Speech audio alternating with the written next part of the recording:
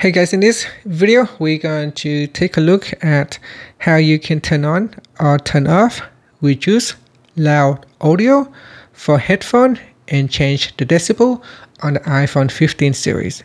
First, let's go back to the home screen by swiping up at the bottom of the screen. From the home screen, tap on settings.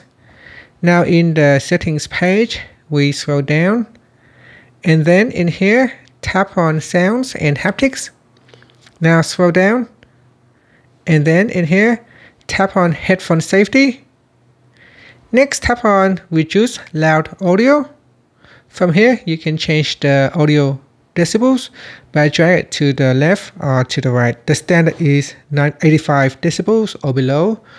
Uh, if you put anything higher that can increase the chance to damage your hearing. And finally you can swipe up to go back home screen. Thank you for watching this video. Please like and subscribe to my channel for more videos.